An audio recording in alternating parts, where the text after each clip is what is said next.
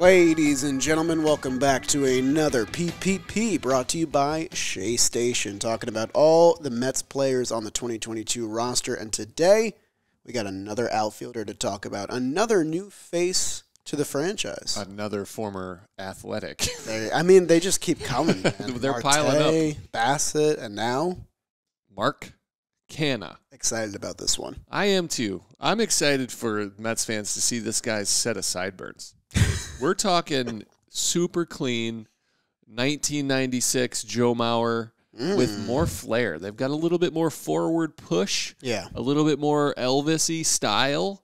Um, brave to do it. I love it. The art of the sideburn has really waned in Yes. recent years. You know, people are afraid to pull it off now. Canha's not afraid of anything. I think I think Mets telling fans of his understand. character. Yes, he's also uh, a foodie, which moving from the Bay Area, great food town, great food area, Yeah. to New York. I mean, Plenty of great food there, too. if there was a team in Paris, we might have a competition, A little bit. uh, but there's not. And so New York is the place, and he I know for a fact that he is super excited. Uh, to play baseball for many reasons. Uh, one of the top ones being the food, access to all the amazing restaurants. Do you think he'll be a New York pizza guy? I think he'll be a New York everything guy. Mm. He's a he's a get into the culture, feel it out, get granular with it, Yeah. and uh, come out on the other end. So I'm excited for this just because when we did our lineup predictions way back earlier in the offseason, uh, Canha was in my lineup. He was a guy that I thought the Mets should uh, keep their eye on. Big on base guy, lot to like about Canha, and also a cheaper price tag than some of these other premier outfielders while still getting some pretty good production. So I was very happy uh, when the Mets grabbed him on a two year I deal. forgot you put him in your your ideal lineup. It's the only one that hit, but I was very happy when it did, you know? I bet uh, Alonso was in that lineup Yeah, too. I mean- sh- he should be in ours. and Lindor. You know, those Uh, those are too. obvious ones. He should get those. Gotcha. For sure. So let's talk a little bit about what he did last year, huh? Yeah, I, I'd love to talk about his his year because he had a very good one. Yeah. A very interesting one. That's it. It's different. It's not. We just talked about Marte, and he was a little bit different because he produced power numbers um, without the huge home run total. Right. What did what did Canha do different? So Canha, it's very interesting because his slugging percentage from last year was 387. That does fall below a decent bit on his career average of 431. The thing is, Canha got hit more than any other hitter in baseball last season 27 times and that just helped balloon his on-base percentage way above his batting average so that really balanced out the ops number in the end but uh, Canha is very similar to nimmo in my mind with these on-base numbers He also walked a ton. Yeah. So he he's always been known for his kind of plate discipline. Um, he doesn't chase, and now he's added like another element. He's coming into his age 33 season, another little bit older guy. But what was his deal? We only got him for two years two years. two years 24 And what a steal! That feels like a steal to me. two years Um, 26.5 He just fits the mold of our lineup uh, like really well. Right. His like philosophy to hitting, the way he's super patient, doesn't try to do too much. It's it's well balanced. I yeah, he's he's he's a good fit. I'm excited to have him on the team. We talked a lot about like trying to get more power into the lower half of the Mets lineup, and Canha, from the look of things right now, a 111 OPS plus, really carried by that on base percentage. It makes you think that he would logically fall into the top of the lineup more so than the bottom. But the thing is, a guy like Canha stretches out your lineup and adds that on base number to the middle, where really it's been only at the top for the Mets in recent seasons. So I feel like it expands the lineup a little bit. It's a matter of where do you put him, really. I feel like he kind of feels like a six or a seven hitter to me. Yeah, he's not really a home run hitting guy. In Yeah. 2019, he had like a, a supreme year, like his best offensive year. Uh, he hit 26 homers. Uh, he also slugged 517, which he, last year he did 387 and still had a really good year. So I expect somewhere in the middle. I expect him to be, you know, a 15 kind of home run guy. And that would slide him towards like the eight, nine hole for me. Like I want him to be on base in front of the other guys. You know, seven, eight would be a prime spot, but this is these are the problems that you have when you have such depth. You're able to push a quality bat like Mark Canha all the way down in the back half to where you can take advantage of it because he's not a power guy. We have guys that do better things on base that at, at a higher clip. Let you do your thing at the back end. If you get a quality at bat like he gives in the eight spot or the nine spot, that completely changes your lineup because there's no time off for that starting pitcher to kind of breeze through, and he's always going to be racking up those those pitch totals. Yeah, and I mean a big. I feel like a big thing that the Mets struggled with last season is just the top heaviness of their lineup and like not spreading around the talent enough, just because it was kind of needed at the top. Like you need to get rallies started in that way. With Canha, he could. I feel like he could easily be like a two hitter or a three hitter on and maybe a lesser team. But uh, with the Mets lineup right now, I mean, I still think that we do need a little bit more pop in the middle, and we both obviously know who we, We want a left-handed hitter. We want a left-handed power bat. Left-handed power bat. And Canha doesn't have to be the right-handed power bat by any means. He can just supplement the lineup, and like you said, like get to the tail end of the lineup. You want rallies to start even before you hit your Nimmo and your Marte, and Canha could be the perfect candidate uh, to start those kinds of rallies. I like everything you said. I think I think Canha is kind of he has this style of at bat, the approach at the plate that he can kind of adapt to whatever the team needs. If they need him to try to use that power and, and go deep, he can do that. He can reach back and sacrifice the things that he's trying to do. He's a team player. This guy wants to win. Um, I keep seeing the same things, but I am excited to have him. Do you think that he is our right fielder or left fielder next season? I he's played both. I, I, I don't think it is up to him. I think it's up to Brandon Nimmo. Wherever Brandon Nimmo seems to be the most comfortable is the opposite is where Mark Canha is going to go. Right, right. And he's he's capable of playing. I think he played more left last year. Every highlight I saw of his was always from left field. Um, but I, he's versatile enough to be able to to man it. Yeah, and I feel like you, you are going to be missing the cannon in right field for Michael Conforto, and like what Cannon brings to this team. Conforto brought many different things that you know you can't really liken the two, even though Canha is, I guess, his replacement in a way. Yeah, I don't. There, I don't even see him as the same job. To Right, be honest, they just end up playing the same position. And like that's okay because I, I think the Mets are filling the void of Conforto in other areas, and there's still the possibility Conforto could come back. I just I personally don't see it that way. Mm-hmm. If the Mets decide to bring in a fourth outfielder, and we talked a little bit about Marte getting rest days and Nimmo possibly getting rest days because of injury history. I think that helps Canha too, honestly, because Canha I, I see bouncing between right and left just when the Mets need him to be in a certain space. Um, so I think he could also benefit from that. But I, I just really like it because all three of our outfield guys are just big on base number guys. I feel like they're all table setters. And if one of those guys is struggling or needs to be moved back, Canha can fill that role, or they need a day off. He can. He's a one or two hitter. Yeah. He's a he's that good, and so you can fill him in there. Yeah, and like we you talked about his 2019 season before that kind of ballooned a lot of his stats. 26 homers was a career high. He had never passed 20 in any other season. Canha, I want Mets fans to know, I feel like is not going to be the big pop guy, and like that's perfectly Correct. fine. I think he might give you 15 home runs. I want Canha to try and hit for more doubles. I, I, we talked a little bit about this on a previous PPP, but uh, that slugging percentage could easily soar if he's hitting that 20 double mark, that benchmark there.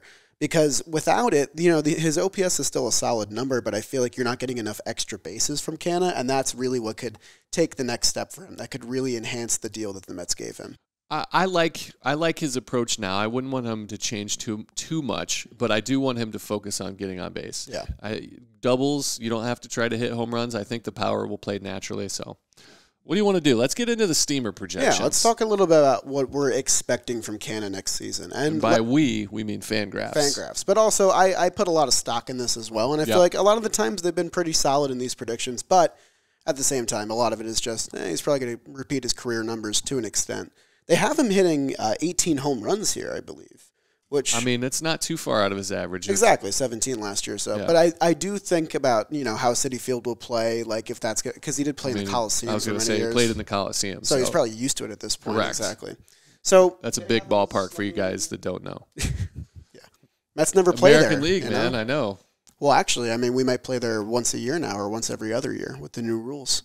Yeah, so that's pretty interesting. That's a pod for another day. Ah.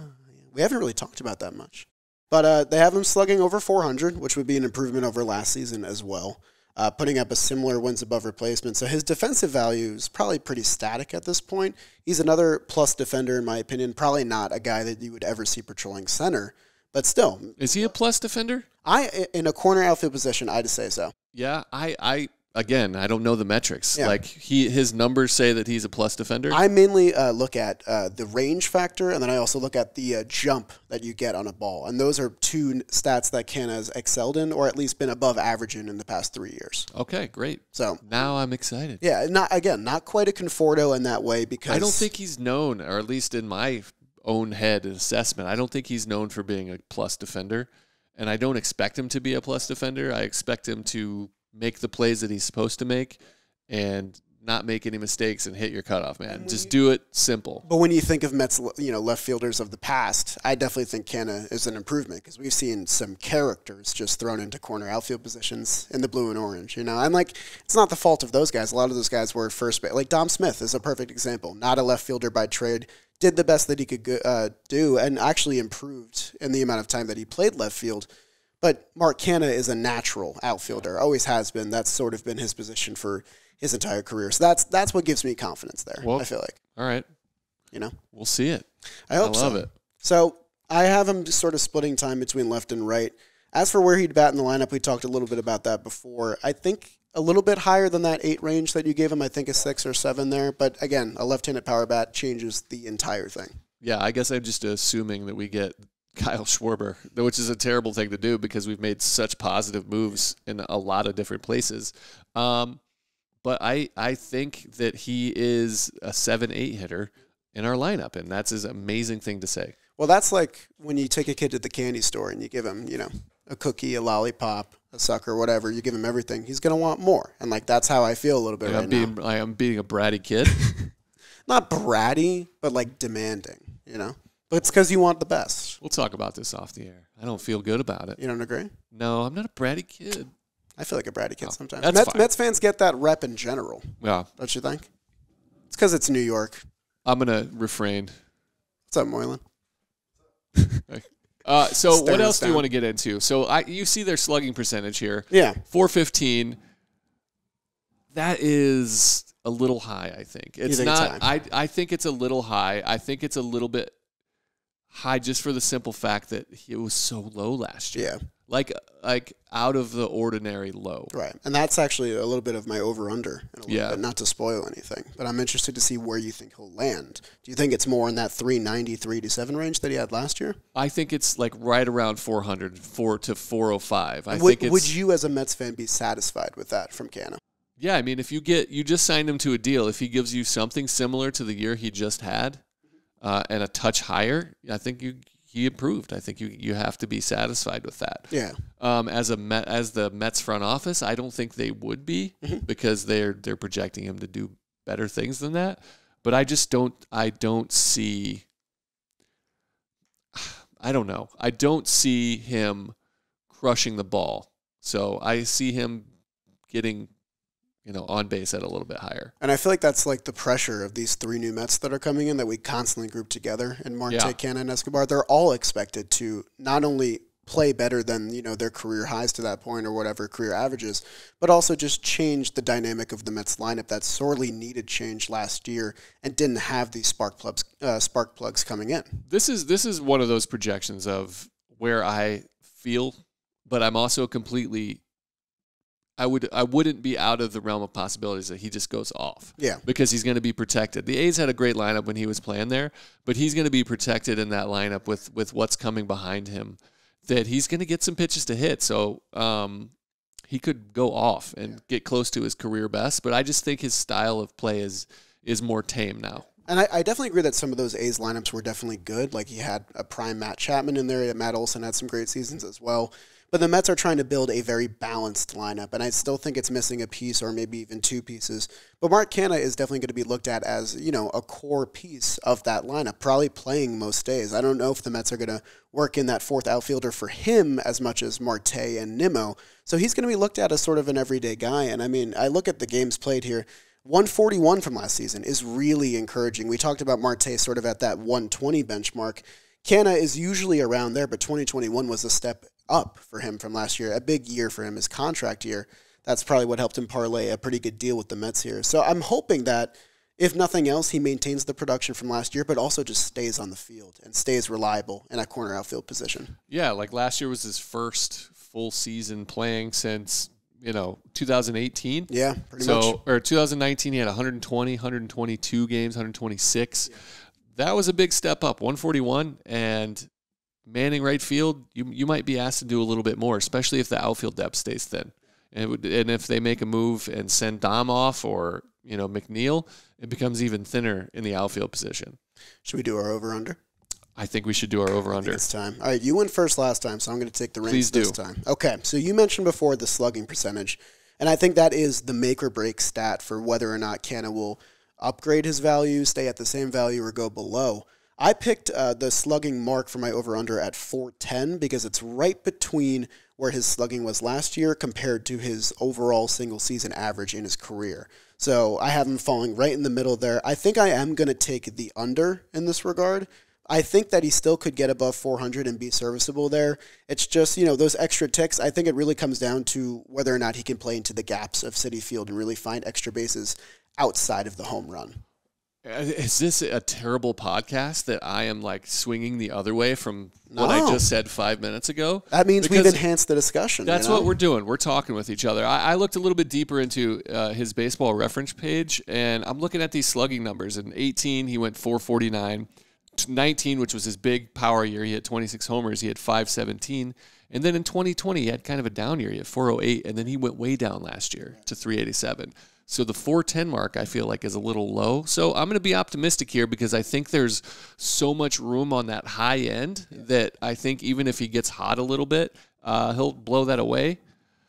I changed my tune, and I'm going to take the over. I here. like that. I like that you changed mid episode. It's kind of cool. Did we change each other there? Maybe a little bit. I think you talked me down and I talked you up a little bit. Look at this. Look at that. Group community activities. We're doing things. I guess so. All right. What's your over under? What do you got for me? Okay, so last year you mentioned it early. Uh, he was hit 27 times. Yeah. that is an absurd amount. That is major league leading. Yeah. Uh, he is also known to get hit a lot. So in the shortened season of 2020, he got hit 10 times. That is a lot. That's one every six games ish. Look at that math. Wow. No, I mean, it's Not a big deal. math pod. It's Not not, a big deal. You know, at 38, still still strong up here. Still working. I wanted to have a fun one with him because uh, hit by pitches are fun only if it's not you. And we're talking about Mark Canha. So let's talk about him getting hit. Uh, so, like I said, in 2010, in the in the game where he only played 59 games, he got hit 10 times. So Yeah. that's already trending upward. And then last year, an astronomical 27. Yeah. So there's Freddie Freeman, who many Mets fans will know, or I'm sorry, Anthony Rizzo. Anthony Rizzo, who yeah. a lot of Mets fans will know gets hit all the time. He stands on top of the dish. So in the MLB, the last five years, it's Anthony Rizzo at the top, and then underneath him is Mark Canha, and then a bunch of gap below, and then it's everybody else.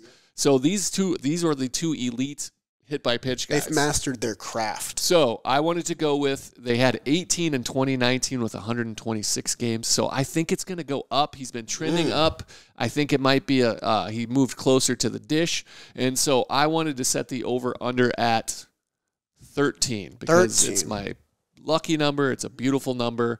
Uh, I think we should do probably 13 and a half. Yep. That way, if I choose 13 or you choose 13, um, it's it's not a We're not falling push. right on It's it. not a push. So um, I'm going to go first, Okay. and I'm going to take the over. Okay. I think that it is not just a fluke. I think that he has done something philosophically at the plate, mechanically, to where he's staying in there. It's helped him, and I think he's just part of his approach now. Yeah.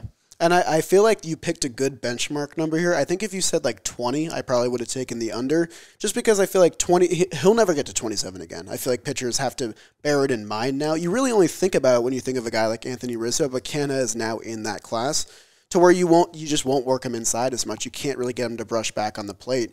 It doesn't work. He got hit 27 times. So I think at 13.5, I would take the over. I think he easily gets 15 All right. again. Maybe not the 27 that led MLB, but it's definitely going to factor into his OBP being as high as it usually is. I don't want to get hit one time, let alone, yeah, we're, we're like, yay, 14, 15, we'll get you. And like, how many of those are he's- fastballs? He's you know? still, well, I mean, they're all fast, Yeah, trust me. Yeah, they all hurt. I fouled a curveball in Milwaukee off my leg, and I almost retired on the spot. It hit me in the shin, and How I, old were you? I was in the big leagues in Yeah, Milwaukee. Yeah.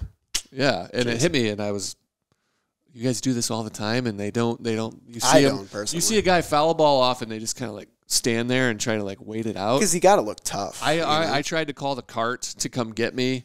I was like, dude, I'm not doing this. Carry me out. And I looked at the pitcher. Actually, Erik Kratz was catching too. I was like, oh, like, nice. Kratz, why are you throwing me a curveball? Like, did you see the swing I took? What was the count? You, I deserved a home run after you letting me foul that off. So Yeah, you should be ashamed of yourself. Hey, did you put a good cut on it though? I mean, you made contact, I right? fouled it off my leg. pretty good. I struck out the. It was it was a ball off. Wow. Uh, fact. We checked it. Uh, he rung me up even after I, I was so upset, Oh. That's but messed up. that's fine. They didn't give you a fair deal. They injured you and then they called you out on a This ball. isn't a this isn't a Blev PPP though. This is we're talking about Mark Canha. Listen, I like hearing about your hitting stories. I'm not gonna lie. One for four in I his tell them career. That's not bad, guys. That's a 250 average. It's pretty good. I'm in show show hit. That's a big deal. Yeah. Anything else? No, All right. Guys, thanks for listening to our latest PPP. I think we've covered all the outfielders now, so we got to really diversify the. I think palette. we only have three former uh, Oakland Athletics to go. yeah, or like seven more. So thank you guys for tuning in to another PPP, and let's go Mets. Let's go Mets, baby. See you guys soon. Thanks for tuning in.